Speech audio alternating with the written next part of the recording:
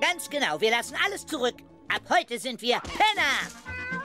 Kein Schneckenfutter mehr. Tut mir leid, Gary. Penner essen nur alte Muschelschalen.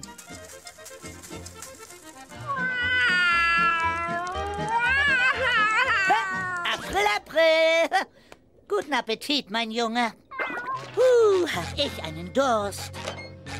Das löscht auch extremen Durst. Ich bin ganz erschöpft. Ich kann's kaum erwarten, all diese Drinks zu kippen. April, April. Ha, reingelegt.